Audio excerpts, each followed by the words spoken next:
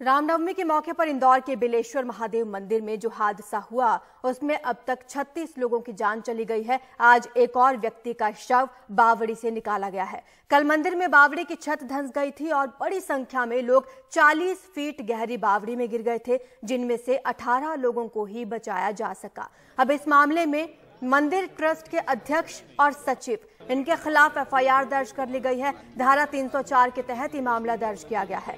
Indore police commissioner ने कहा कि मामले में न्यायिक जाँच के आदेश दे दिए गए हैं, इसलिए किसी की गिरफ्तारी अब तक नहीं हुई।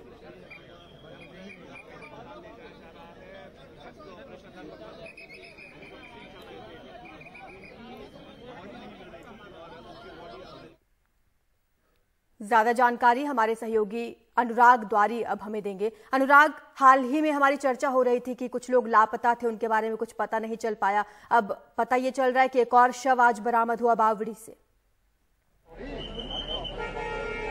जी, बिल्कुल, आरज़ू 36 लोगों की यहाँ पर अब मौत की पुष्टि हो गई है। जो रेस्क्यू का काम है वो पूरा हो गया। आप तस्वीरों में देख सकते हैं कि वो वही बावड़ी है जहाँ पर ये दुखद हादसा हुआ था और यहाँ पर एनडीआरएफ की टीम मौजूद है, जिससे मीडिया कर्मी बात कर रहे हैं। अगर मेरे कैमरा सहयोगी आपको वहाँ ले जाकर दिखा सके ये वही वाली बावड़ी है जहाँ पर ये दुखद हादसा हुआ है और तमाम यहाँ पर मीडिया के लोग पुलिस के लोग नगर निगम के लोग ये सारे लोग यहाँ पर मौजूद हैं। इस बाड़ी बावड़ी में वो हादसा हुआ है।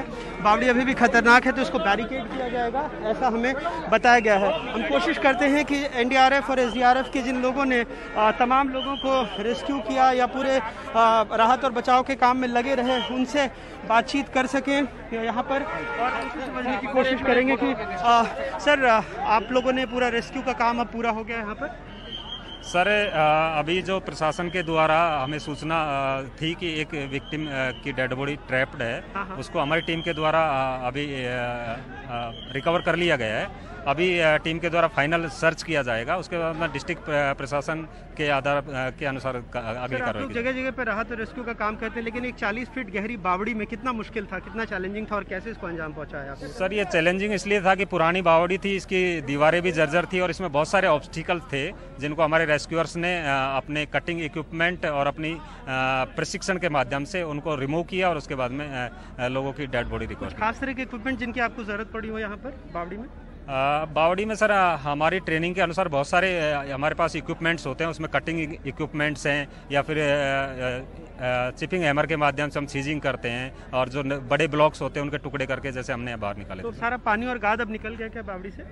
पानी और गाद लगभग लगभग हमने निकाल दिया है और जो मलबा था वो भी आधे से ज़्यादा निकल चुका है। उसके बाद में अभी एक्सटेंसिव सर्च किया जाएगा और उसमें कितनी फीट गहराई तक जाना पड़ा आप लोगों को यहाँ पर? इसकी गहराई लगभग साठ फीट सर। साठ फीट तक। सर। आपका शुभ नाम और आपका पोस्ट इंस्पेक्टर श्रीनिवास मीना ग्यारहवीं वाहनी एनडीआरएफ वाराणसी। बहुत बहुत शुक्रिया। तो श्रीनिवास मीना जी का साफ़ कहना था कि बहुत खास तरह के इक्विपमेंट का जैसा आपने आर्जू सुना होगा, इस्तेमाल किया गया, लगभग 60 फीट गहरी बावड़ी थी और ये वो बावड़ी का इलाका है। ये तमाम आप देख सकते हैं, मशीनें यहाँ पर खड़ी हैं, तमाम प्रशासनिक अधिकारी यहाँ पर मौजूद हैं। कई लोग हमारे पास आ रहे हैं, वो बार बार यही कह रहे हैं कि ये दरअसल पार्क का इलाका है, जो इलाका मैं आपको दिखा रहा हूँ। और यहाँ पर अतिक्रमण किया गया था, जिसकी वजह से ये दुखद हादसा हुआ है। ये, यहीं से मेरे कैमरे पर सहयोगी आपको कोशिश करेंगे कि ये बावड़ी दिखाने की यहाँ पर तमाम जो सुरक्षा कर्मी है, चूँकि ये खतरनाक भी हो गया है, इसलिए भी सबको वहाँ जाने से रोका जा रहा है और ये इनकी ड्यूटी भी है। तो अपने कैमरे पर्सन से कहूँगा पीछे आकर के वो दिखाएँ, यहाँ के लोगों में बहुत दुख है, इलाके के लोगों में बहुत दुख है। इंदौर में आज कई कारोबारियों ने भी ये फैसला किया है कि वो अपनी दुकानें बंद रखेंगे शोक की घड़ी में। आरज़ू? अनुराग, अगर आप थोड़ा दिखा पाए उस इलाके के बारे में, क्योंकि बहुत लोग जानना चाहते हैं किस तरह की बावड़ी थी और इतने लोग उस बावड़ी में इस हादसे का शिकार हुए हैं। किस तरह का ये इलाके, इलाका था? किस तरह की लापरवाही वहाँ पर देखी गई है?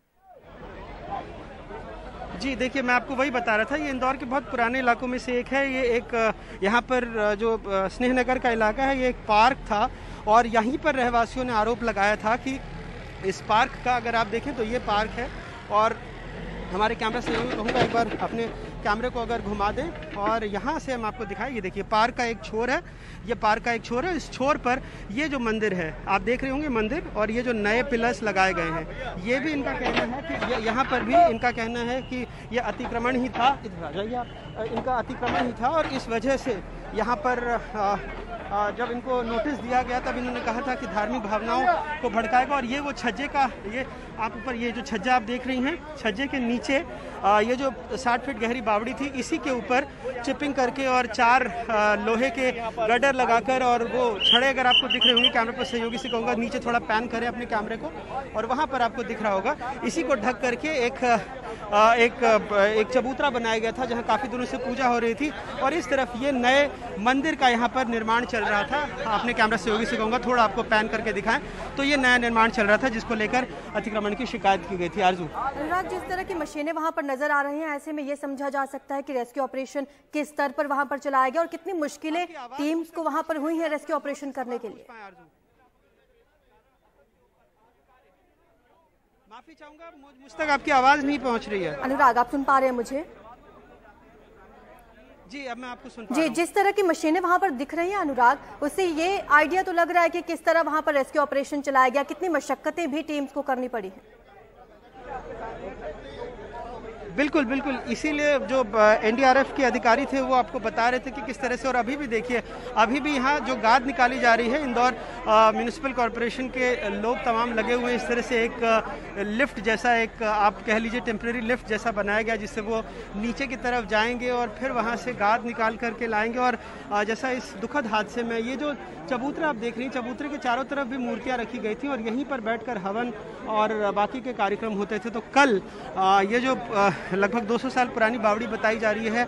ये यहाँ पर बैठे लोगों का बोझ सह नहीं पाई और बावड़ी की दीवार ढह गई और जिस दुखद हादसे में 36 लोगों की मौत हुई है अभी भी तमाम कर्मचारी लगे हुए हैं। जो भी यहाँ पर मशीनें हैं या तमाम इसको पहुँचाया जा रहा है तो कैसे इस पर काम हो सके इसकी मशक्कत कर रहे हैं। आरज़ू? बहुत सारे लोग वहाँ पर नज़र आ रहे हैं। कुछ ऐसे भी लोग हैं जो अभी भी ये दावा कर रहे हैं कि उनके परिजन घर नहीं पहुँचे हैं अभी तक लापता हैं। नहीं, अभी तो फ़िलहाल हमने काफ़ी लोगों से बात करने की कोशिश की, जो मंत्री यहाँ पर, कैबिनेट मंत्री तुलसी सिलावट इंदौर से आते हैं। उनसे भी बात की तो उन्होंने भी कहा कि अब इस तरह की कोई शिकायत नहीं है। जो छत्तीस शव मिले हैं और वही लोग थे जो अपने परिजनों के गुमशुदा होने की शिकायत कर रहे थे और उसी के मद्देनज़र जो पूरा रेस्क्यू का ऑपरेशन है, लगभग चौबीस घंटे तक यहाँ पर चला है।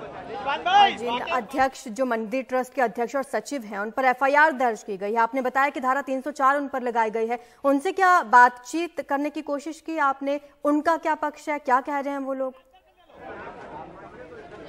अभी थोड़ी देर पहले अर्जुन यहाँ पर पहुँचे और सबसे पहले घटनास्थल पर ही आए हैं। उन पर 304 यानी गैर इरादतन हत्या का मामला उन पर दर्ज किया गया है। लेकिन जो उनकी चिट्ठियाँ थीं वो यही कह रही थी कि नहीं ये मंदिर की ज़मीन उनकी ही है सौ साल पुराना है। ये आ, कहीं ना कहीं उनका ये कहना था कि स्वयंभू मंदिर है।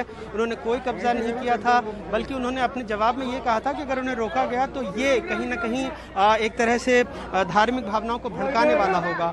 लेकिन उस वक्त ये बात नहीं देखिए आप जैसे मेरे कानों अगर ऊपर आपको दिखा पाए इस तरह की क्रेन अगर आती है तो कैसे मशीनी दिक्कत भी आ जाती है जैसे वहाँ फंस रही है अब उसको संभाल कर निकालने की कोशिश करेंगे ताकि वो आराम से जो कर्मचारी हैं नगर निगम इंदौर के वो नीचे जा पाएँ उसमें एनडीआरएफ के लोग भी हैं वो नीचे जा पाएँ इस तरह की मेक जो एक तरह से लिफ्ट बनाई गई है उससे नीचे जाएँ और तमाम और वहाँ ढूँढने की कोशिश करें बहुत हाँ। पुरानी बावड़ी है 200 साल पुरानी और इस तरह से देखिए आप लोहे का जो आपको दिखेगा चार वो लगा करके उसके ऊपर टाइल्स लगा करके इसको ढक दिया गया था और इतने दिनों से यहीं पर पूजा अर्चना तमाम हवन के कार्यक्रम होते थे, जिसमें दुखद हादसा हुआ है आज। कितनी टीमें वहाँ पर मौजूद है? एनडीआरएफ हम देख पा रहे हैं, नगर निगम के कर्मचारी हैं वहाँ पर, और कितनी टीमों का सहारा लिया जा रहा है इस पूरे ऑपरेशन के लिए?